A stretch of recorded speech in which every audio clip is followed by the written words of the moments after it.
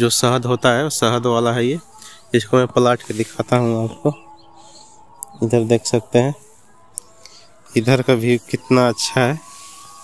Comment hello friend कैसे हैं आप लोग? आई होप कि आप लोग अच्छे होंगे। तो फ्रेंड चलिए आज का ब्लॉग स्टार्ट करते हैं। और ब्लॉग स्टार्ट करने से पहले फ्रेंड मैं एक रिक्वेस्ट कर रहा हूँ। प्लीज़ मेरे चैनल को लाइक शेयर कमेंट और सब्सक्राइब ज़रूर करिएगा।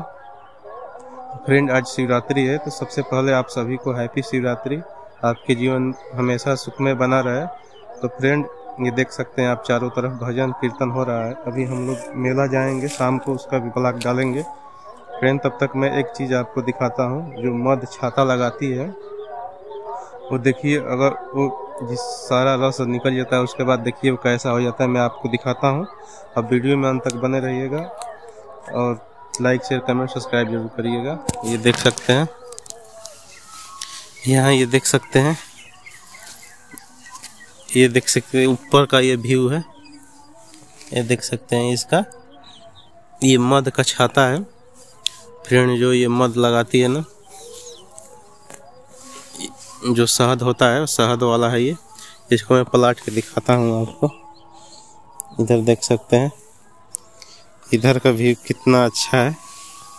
कमेंट में ज़रूर आप बताइएगा, कैसा लग रहा है ये। देख सकते हैं कितना अच्छा दिख रहा है।